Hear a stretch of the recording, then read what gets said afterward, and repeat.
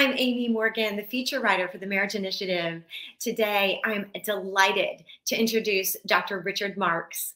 Dr. Marks is nationally recognized for his work on relationship and emotional wellness, with more than 30 years of experience helping couples and individuals achieve healthy, connected relationships. Often, he helps deeply troubled couples as they wrestle with how trauma, substance abuse, sexual addiction, and general mental health issues affect their marriages. Dr. Marks earned a PhD in counseling psychology and a master's degree in marriage and family therapy. He also earned another master's degree in religious education from Southwestern Baptist Theological Seminary. And all this after he served in the U.S. Navy as a chaplain's assistant.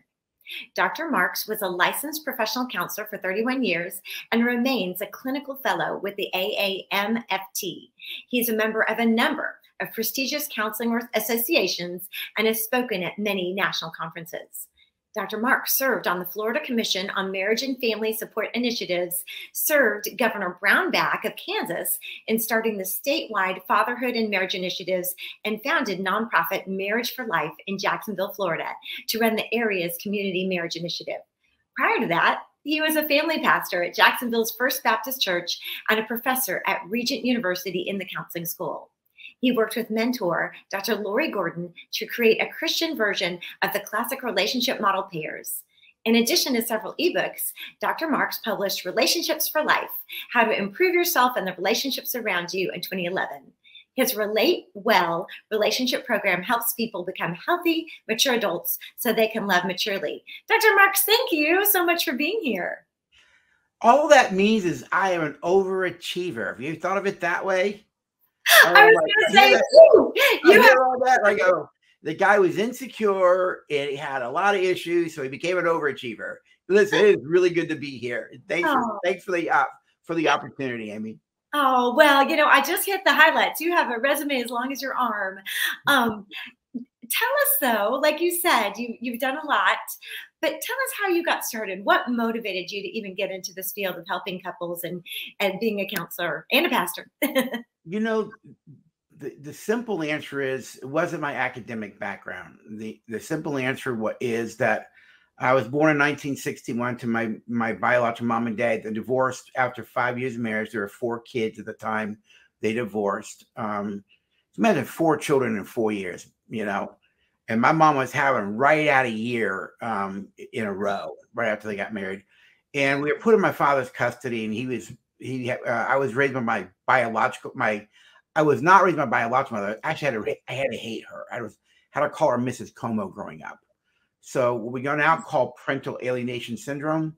Back in the 60s and 70s, nobody thought about what that was doing to children. Um, my dad was my idol, and so I did what he said. I would do anything that he said. I was pretty heavily enmeshed with him back in my childhood days. And um, but my dad had an anger issue. Yeah, I around I was around 10 or 11 bought a cow prod and used to shock us. So I would say that a lot of the reasons I do what I do today is because I grew up in dysfunction and abuse and craziness with their addictions in the home. And when I left home at age 18 and joined the Navy, uh, I made a decision after I got married in 84 to Luella. I was not I was not going to pass on a generational curse of addictions and brokenness. But I wasn't healthy, mature. And so I had to grow up as an adult so I could be, have a healthy, strong marriage, what I call us. So we can have it be a strong us. And so I could raise my kids to be mature adults. So a lot of it is because my wife and I grew up in brokenness and we decided we're not doing this anymore. I don't really see myself as anything special. It's just somebody who said, you know what? I'm not living this way. I'm not passing on a generational curse. I get that the sins of the fathers will visit the third, fourth generation. But I always tell people keep on reading. It goes on to say that the generation that follows my commands, I'll bless a thousand generations. Well, we're not slaves to what was.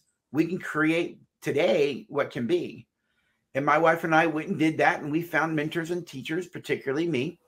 And I said, All right, I'm changing me. And I did. And now you've taken what you learned and you you know you didn't just learn a, a, marriage class here and there you you undertook some serious study to become um, very well versed and kind of even, created your yeah even postgraduate work because i i am trained and certified in most of the leading relationship skills curriculums that are out there Um, and and some of the better curriculums are actually, I hate to say it, they're in the secular world. They're actually created by Christian people, but they don't market to the church. They market to the culture.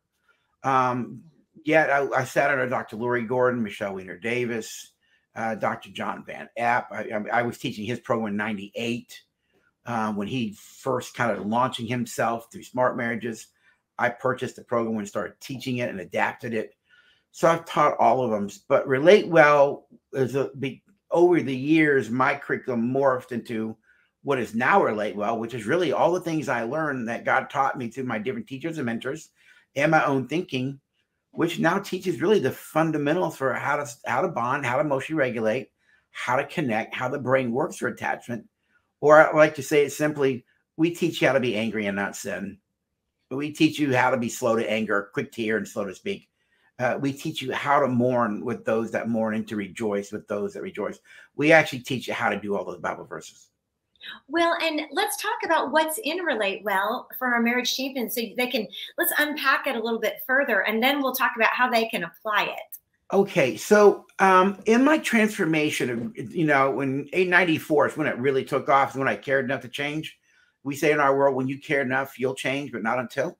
Yeah. Uh, it was in 94 that I cared enough to change. And um, so in, in my own transformation, four words kept showing up in my spirit on how to regulate myself, Amy. And, and again, a lot of this did not come from my academic training. It was what I believe God was teaching me that I needed to become different. I needed to transform into being these words, not knowing these words. And so uh, I call them today HREG, H equals R E G. And, so the four words that I began to to regulate myself by, which have now become a core value for me, is am I living with humility? Am I being respectful? Am I being empathic, which is really am I being caring? And am I treating people with goodwill? And I've come to learn that love always, always, always treats people with respect and goodwill. It never sends a message, I don't care. And love can only truly operate through humility. And so HREG is my core value system. I began to monitor myself. Am I being humble right now? Am I being respectful, empathic, and goodwill? And I knew if I was being those things in a moment, then I knew for a fact I was being loving. So um, I operationalized the word love as HREG, humility, respect, empathy, goodwill. So that's the core value system of what the individuals in a marriage need to become. But let's take it outside of the marriage that's what we're supposed to become as Christians. I truly believe the heart of the gospel message, if we are living it out in the heart, not just the mind, then you become a humble person, respectful, empathic, and goodwill. Because love always treats people that way. That's what Jesus was. And the second value system was, is like Lord taught me. Now, this is back when I was a professor at Regent University. Um, I was studying all these people's definitions of one flesh. And take what I'm about to say with goodwill. I am not saying the definitions that people have for one flesh are are not good definitions. It's their definitions. I get it. But when I was a professor at Regent, I was studying definitions of one flesh, and part of it I was trying to figure out my own life and marriage as well. The definitions that I was reading didn't seem sufficient to me. It was like something was missing. And then I realized both Paul and Jesus admit the idea of one flesh is a mystery. Hmm. Well, if, if it's mysterious on some level, you can't clearly define something that actually is on some level mysterious, right? Right. The mystery is somewhat undefinable. So back in those days, I remember I was sitting in my office there at the, at the university, and I and I was kind of in a prayer mood, and I said, "Well, God, if you can't define this thing called one flesh, how would I know if I had a one flesh marriage? And the answer I received from Spirit turned my life around from that day, even to this day. And the answer I got was this it's simple. You feel it. Hmm. I don't want you feel it. And I, you do feel it. And so we say this way now you always know when us is in the house. Why? You feel it. When us is in the house, you feel the love, you feel the warmth, you feel the tenderness, you feel the connection, you feel the bond and so do your children. Mm. Everybody knows when us is in the house. You feel its presence. You also know when it's not in the house, you feel that too. Because you can feel the angst, the tension, the resentment, the bitterness, the yeah. coldness, the silence. You can feel that. And so do your children. Mm-hmm. So I always tell couples, you want three people in your bedroom at the end of every every, every night, you, her, and us. And, and, when us is in the bedroom, you sleep well. You know, when us is not in the bedroom, you probably don't because you're, you're it's going like you know you, you, sleep back to back. You know, get your feet off me, that kind of stuff. you, know, or you sleep in another room. I'm like, wait a minute, I'm supposed to be I'm supposed to be a mature Christian, and I'm going to live this way. No, mm-hmm. I'm not doing that oh. to myself, to Luella, to us, or to my children. And so I began to realize that humility is the path to living for us. And if I want to sustain us, I must stay humble, but I must treat Luella in a respectful way with empathy, and everything I do must be goodwill towards her. If you mm. sow discord, you're going to reap discord. Yeah. And so, well, I love how you operationalize, like you said, love. Because I would expect, as you've been working with people who you know have dealt with you know trauma and addiction and failure to bond they might not really understand what love really means or looks like but if you can I break it down to right and if you can break it down to it means you know humility uh, empathy goodwill okay those are words i can do yeah. and then we'll show love yes and then if you and here's the key uh, and let me kind of give a parallel. I always ask the question Does God have love? And people say yes. I say, No, he doesn't. That's not what the scripture says. It says God is love. And because God doesn't have love, he is love. No matter what he does, it is loving. Because you can have love, but not be loving, not be love, right? Yeah. And what Father taught me was, Rick, you must transform yourself not to have humility, to become humility you must transform yourself to not have respect, but to be respect, to be empathy, and to be goodwill. Not perfectly, but maturely, which is all about emotional wellness, emotional intelligence is the term in the corporate world. And so I had to position myself for transformation to become HREG as a way of being, is a phrase that we always use, which is what my mentor Lori Gordon always said. It's a way of being, Rick. You have a way of being change your way of being and you'll change Luella. Oh, yeah, I mm. never thought about that. You know, I always say we train our partners to be who they are around us because of how we are as a way of being. You know, Dr. Phil says it's simpler on his TV show. He always says you teach people how to be around you. And, and he's absolutely right. I just heard it differently from Lori before all that. And so I transform my life into becoming HREG as maturely as I can so that no matter what I do, I'm loving. And, and when, that's it, what you teach in your Relate Well curriculum, correct? Yes, it's the core value of Relate Well is the idea that us is most important. And if you want to preserve us, you as an individual must become humble, respectful, empathic, and goodwill. And how can a marriage champion who thinks, aha, this sounds really interesting. This sounds like what my small group needs. It sounds like what my husband and I need. How could a marriage champion access that? You have uh, weekend uh, retreats. You talk about how they could get well, a hold one, of your stuff. One way is relatewell.us. Um, is we have a the core curriculum, which is a nine session curriculum, and basically chapters one and two. Chapter one is about the value system of HREG and us. Chapter two is how the brain bonds through 10 relational needs. And then the other chapters are basically built around humility, respect, empathy, and goodwill what are the skills for humility? What are the skills for empathy? What are the skills for goodwill? And what are the skills for respect? Respect are the communication ones because you communicate with respect or you communicate disrespectfully. So we have research based uh, uh, skills like many programs do, ours are no different, um, on how to communicate an issue with humility, respect, empathy, and goodwill. All right. We teach you brain regulation, emotional regulation of the brain. So we talk about the, you know, how the brain functions and bonding, but also how to stay out of the lower order brain and stay to the higher brain where you can have empathy, you can be respectful, and you can treat people with goodwill. Um, so it teaches the, all of this, all of that in nine sessions. So it's a nine session curriculum, and you can go to relatewell.us. There's a the first link is called Core. That's the core curriculum for youth, singles, and or married people. Anybody can learn it because it's not a marriage curriculum, it's adapted to marriage mostly, but a dating couple can learn it. All right. Then there are the links called clinical. And the clinical program is where I teach a video training where I teach pastoral counselors, you, a marriage mentor could watch it, therapists, psychologists can watch it, how to use the curriculum as a counseling tool, mm. as a mm. mentoring tool, which more and more churches are using it for mentoring as well. Yeah. Um, and so those are two places you can go. Um, here locally, we do some relate well trainings. Um, we actually do classes teaching people, you know, couples the, the work if someone wanted to stat, learn it and how to use it, I would just tell them go to the clinical link at relatewell.us and purchase it that way. If you're a licensed counselor, National Marriage Seminars offers CEUs for it because yeah. they're a strong endorser of it.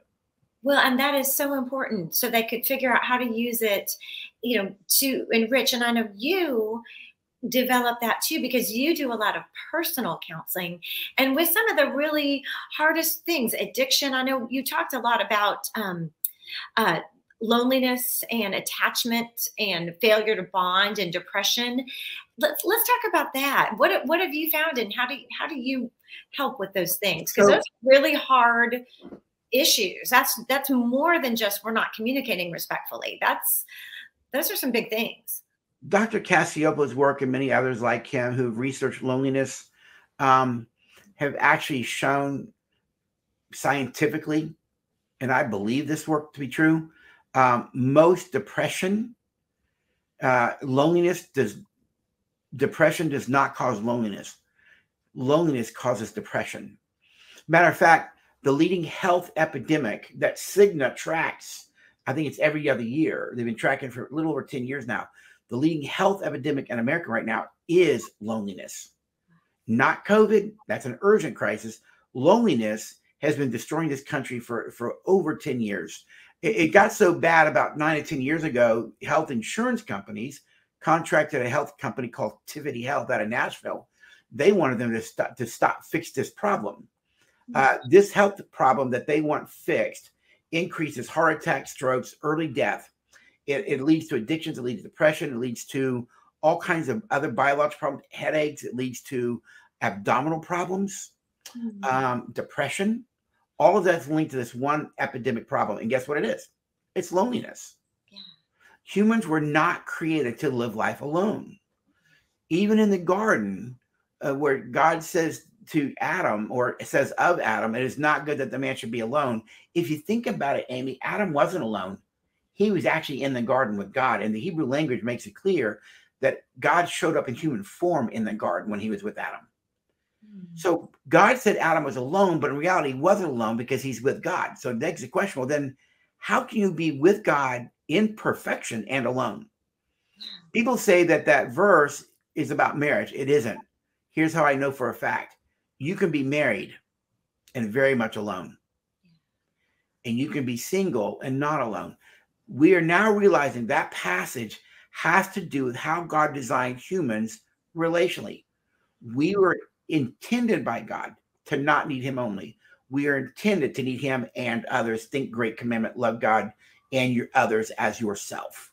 And it's when humans bond in those three areas, bond to God, others, and self at emotional level, it has to be an emotional level as well, the right side of the brain, the limbic system, then we will thrive if you don't bond in those areas, then you're in pain, and pain moves you away from relationship into aloneness. And so addictions are now being rethought of. And I'm in that camp. I spoke a few weeks ago at Florida State University uh, for what a generational trauma conference on addictions as as an attachment disorder. Mm-hmm. You know, um, we're now looking at looking at issues now through the prism of attachment, the lack of bonding. And we now know medically, because the research journals are clear, the more lonely you are, the greater risk you are for all these physical problems, even early death. Maybe God knew something when He created us that we were actually created to thrive in relationship. And where's the best place to do that? Marriage and family. But when marriage and families break, fall, break down, and you don't learn how to bond or connect there, which I never did. I left home at age 18, joined the Navy. I had no emotional attachments to anybody in my family, no parents, none. And I didn't realize just how alone I was.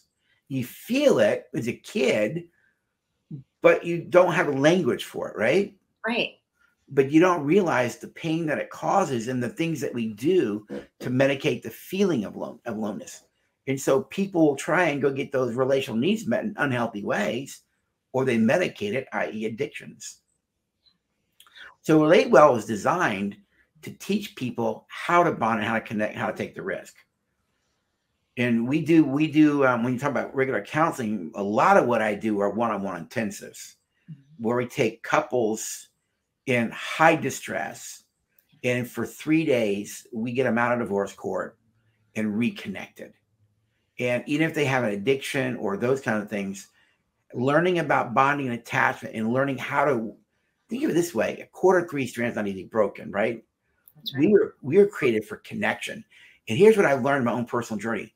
When Luell and I are our strongest, I feel like I can take on the world. Mm-hmm. It's just really that simple. And when we're not as connected, you feel the disconnection, you feel the break, it's harder to take on the world. Yeah. Yeah. And, and relate well helps people how, how to have healthy, thriving relationships in any relationship so that you are a source of pleasure to people, not a source of pain, just by how you treat them day in and day out, so that you always open up opportunities that you are a source of love, you're a source of pleasure, so people want to draw close to you. So you can speak into their hearts, so you can speak into their life because you've earned the right, because the way they know you is someone who's loving and caring, and that's how they'll trust you to be. Well, and I love too how, of course, for our marriage champions, how it's so important in marriage to have those skills and to learn. But even backing up, like you said, with engaged couples or couples before engaged, but even you know, like you you grew up as a child. Yeah. Attachments. I bet our churches are full of children. You know, maybe you have a foster ministry in your church. Maybe you have, you know, they're full of people who on the inside have a bonding void. And by by knowing, being able to recognize and be able to offer this relate well curriculum and these skills, you could really head off some of these problems at, at the past, right? You could. I would say it this way too, Amy. You have so many, you have so many adults who are deeply alone and disconnected. Yeah. Not the kids, the adults are. And because the adults are so disconnected and, and unhealthy and immature, um, they can't raise mature kids. The reason my dad could not raise us to be healthy, mature adults because he wasn't one. You can't give what you don't have. And so in chapter one of Relate Well, we actually identify what is an emotional infant, what is an emotional child, what is an emotional adolescent, and what does a mature adult look like. Mm. And people actually rate themselves. And most people go, I'm an adolescent, I'm a child. Yeah. I go, yeah. And that's why you can't have the marriage you want because you don't know how to how to, you don't know how to emotionally regulate maturely to resolve conflict in a way that us wins. You guys are in your force a lot. You're in competition.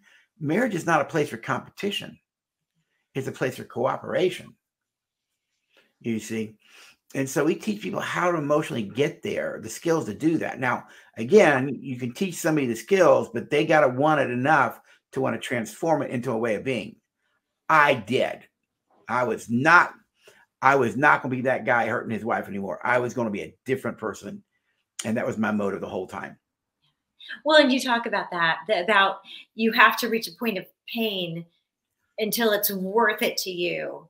Yeah. To want to change. Yeah. You know, when when someone is taking a risk to give you their heart, you have to earn the right to hold that heart. Because mm. if you don't, they're going to take it back from you. Mm. Matter of fact, um, it took me about two months to write this. Actually, I brought it just in case because I want to share it. I want you to think about when when whenever someone takes the risk to give their heart to somebody, right? Um, there's an unconscious declaration being made. We don't ever say it, but it's really true.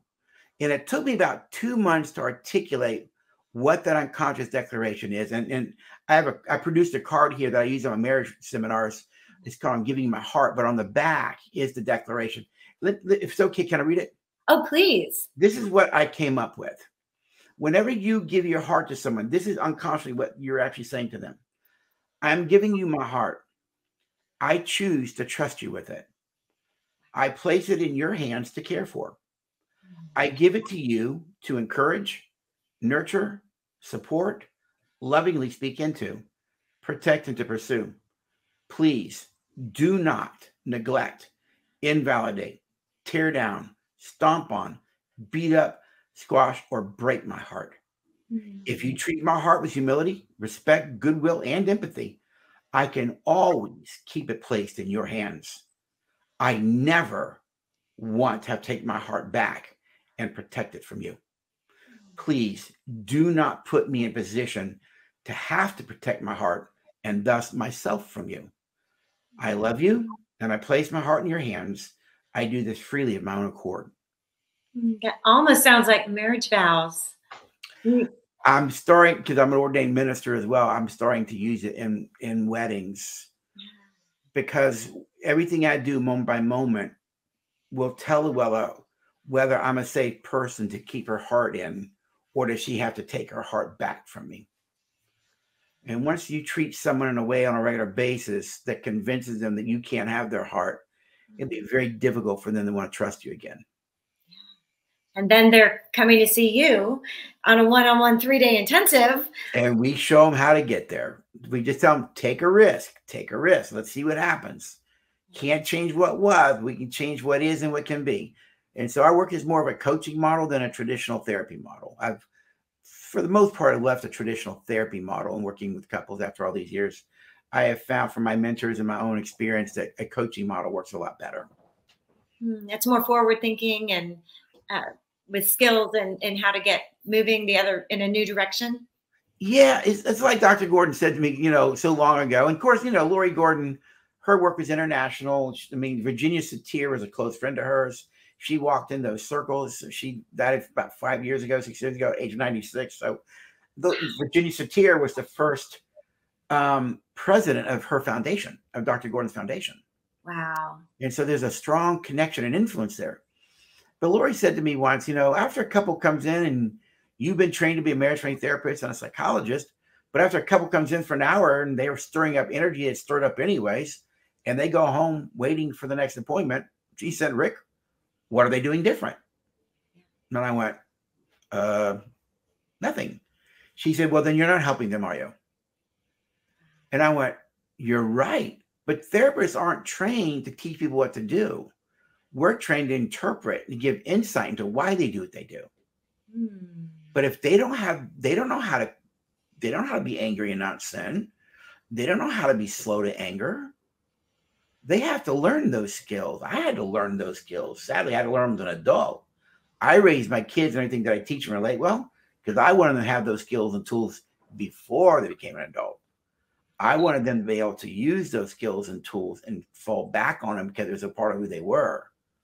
And so that's why my wife and I, we taught our kids what we were learning all along. So that as we transform, we could impart into them what we never got from our parents.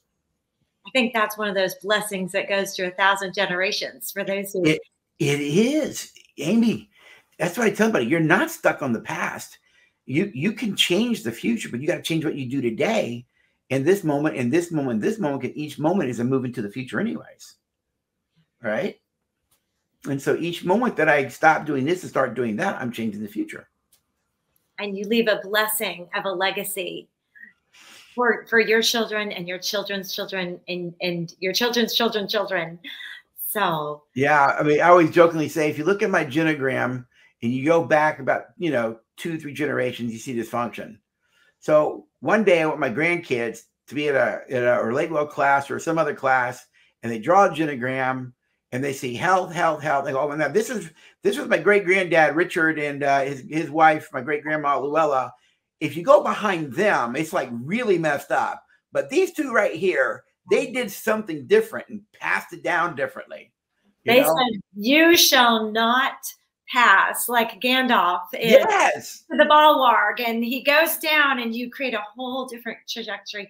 And that is so hopeful, Dr. Marks. I think that gives our marriage champions hope for themselves, for all the people, the couples in their churches that they're burdened for, the, the counselors and the coaches that are watching who think, wow, you've really inspired how how we can make a difference.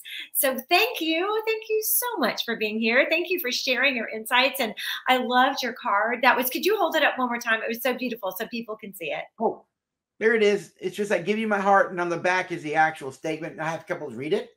As a matter of fact, funny story is I, you know, those little um, stress balls. Mhm. I ordered um, the heart shaped ones, Yeah. and I had to put the Relate Well logo on. I ordered 500, and they never showed. And I kept, I- I need these things. Well, they said it was delivered. I'm telling you, it may say delivered. It wasn't. Well, it turned out they had to send me another 500.